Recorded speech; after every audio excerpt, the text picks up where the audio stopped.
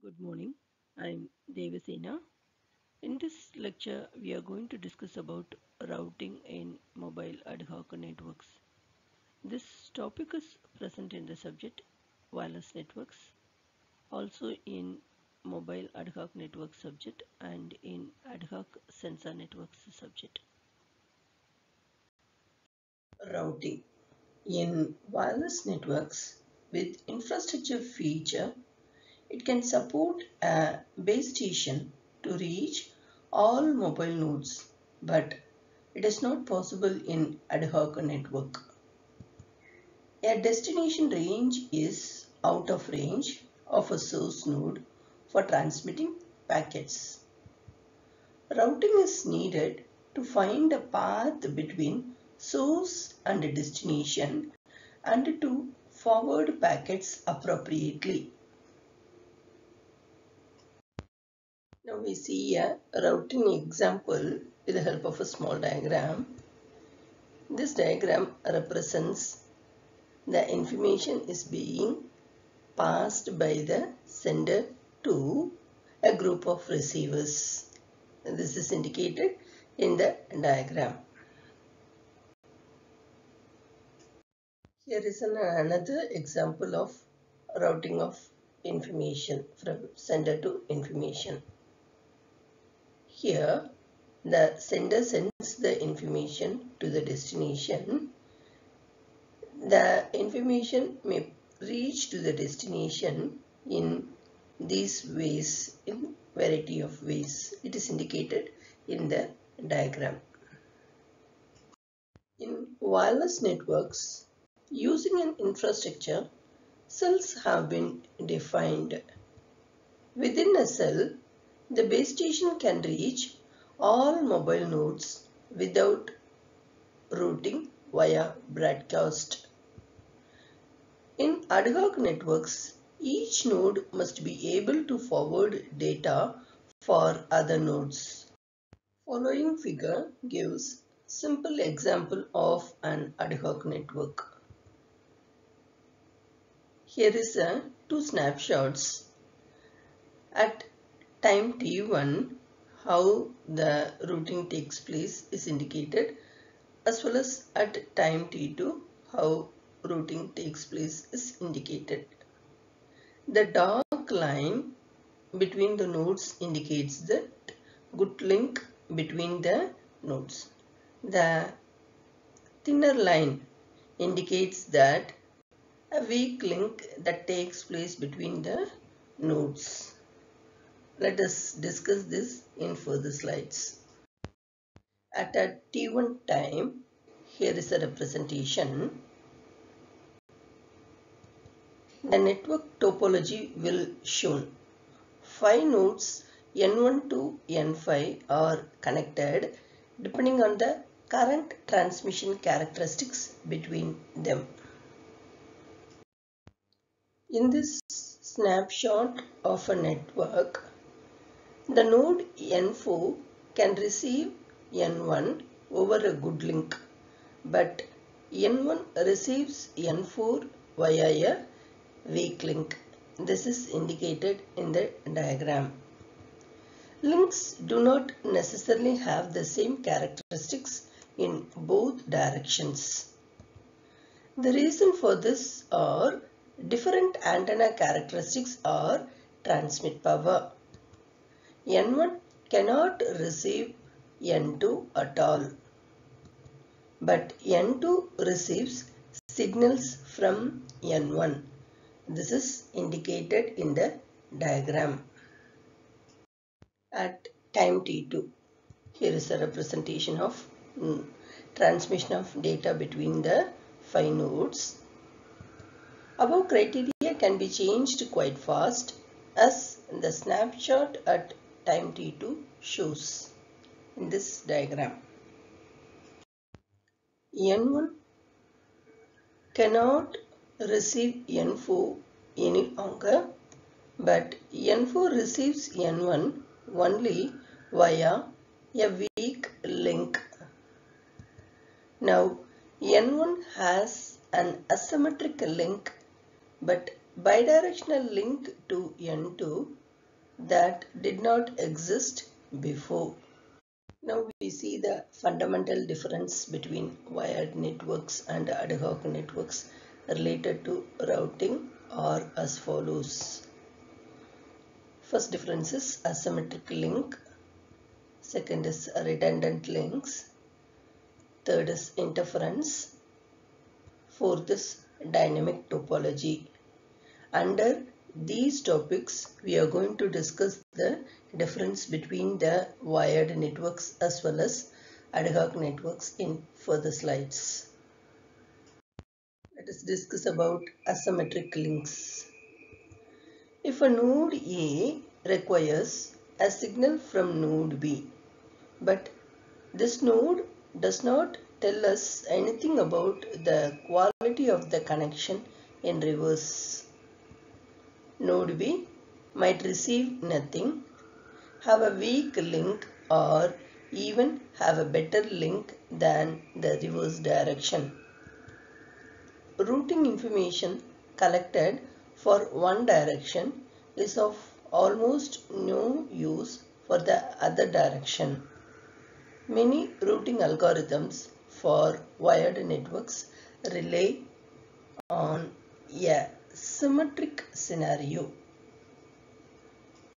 Asymmetric links representation. First scenario, link asymmetry between sender to receiver takes place. This is indicated in that dotted link. But the information from the receiver to sender takes place in a proper manner that is indicated as a good link. The second scenario, link asymmetry takes place between receiver to the sender. It is indicated by a dotted line. But the sender sends the information to the receiver. Good link. A third scenario is third scenario is link asymmetry between sender and receiver. In between the sender node as well as the receiver node, there is not a proper link that takes place between these nodes. This is indicated here. Next different is redundant links. Wired networks also have redundant links to survive link failures. There is only some redundancy in wired networks which additionally controlled by a network administrator. But in ad hoc networks, nobody controls redundancy. So there are many redundant links up to the extreme of a completely meshed topology. Routing algorithms for wired networks can handle some redundancy, but a high redundancy can cause a large computational overhead for routing table updates. Here is a redundant link representation diagram. Here we have two scenarios that is two optimal broadcasts in a MANET. The links represent the connectivity among the nodes. Node S is the source node and node D is the last network node that is the destination node. The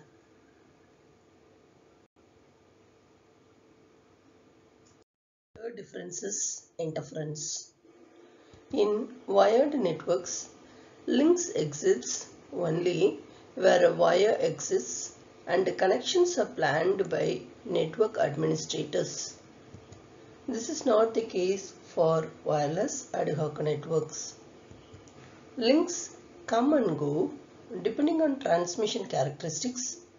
One transmission can interfere with another and nodes overhear the transmission of other nodes. Interference also help routing because a node can learn the topology with the help of packets it has overhead. Interference representation is shown here. Here we have mobile nodes Around the dotted circle indicates the signal range. The blue color line indicates the wireless links. The fourth difference is dynamic topology.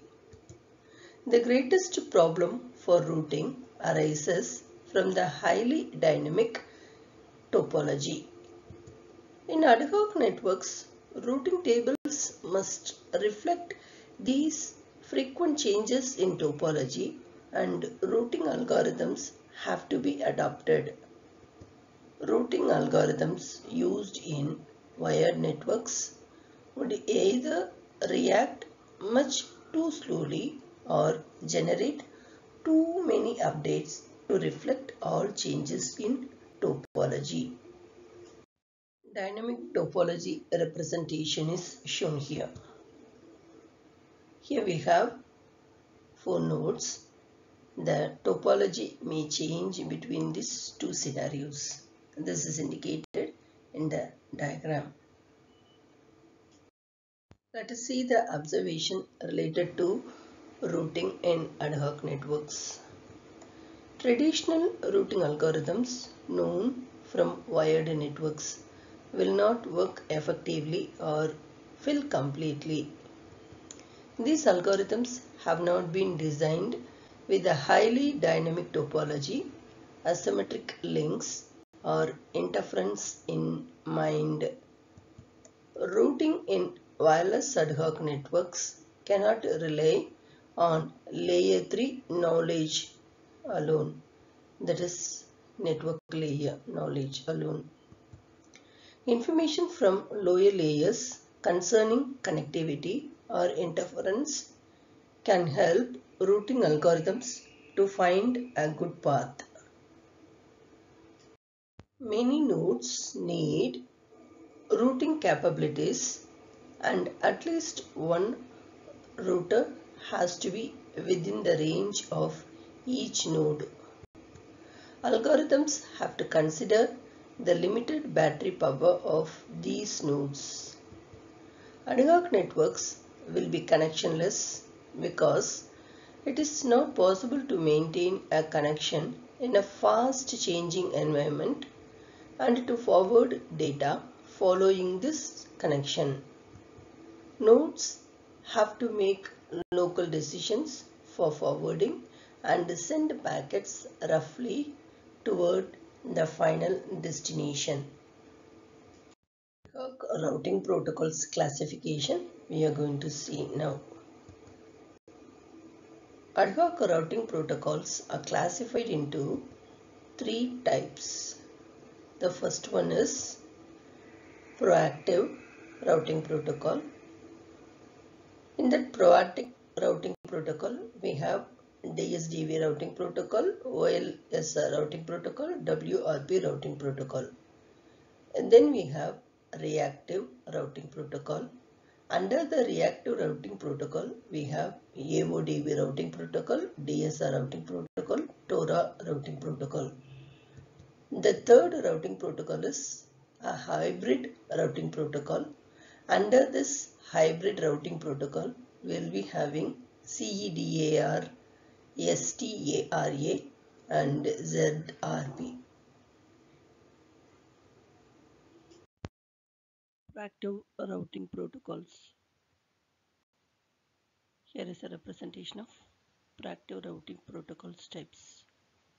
In proactive routing protocol, each node of the network maintains a single or multiple routing tables that are regularly updated. Each node will send a broadcasting message to all the other nodes in the network in order to detect the changes in their network topology.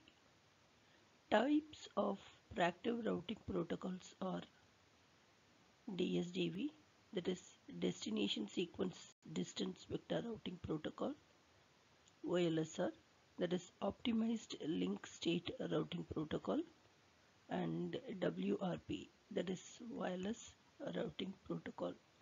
These three are the proactive routing protocol types. Reactive routing protocols. Here is a representation of reactive routing protocol types. In reactive routing protocols, nodes collect information about network nodes only when needed, that is on-demand basis. The types of reactive routing protocols includes AODV, that is ad hoc on-demand distance vector routing, DSR, that is dynamic source routing, and TORA, that is temporarily ordered routing algorithm. These three are the reactive routing protocols types. The third classification is hybrid routing protocols. Here is a representation of types of hybrid routing protocols. Hybrid routing protocols is the combination of proactive and reactive routing protocols.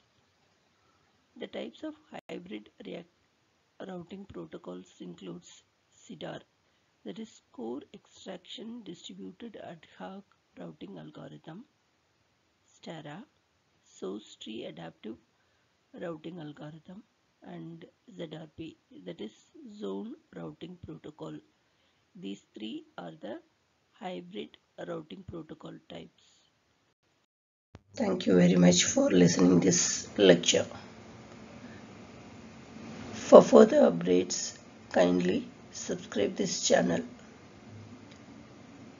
If you like this video means you can share this video to your friends